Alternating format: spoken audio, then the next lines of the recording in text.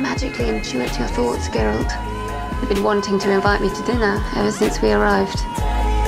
Have I? No.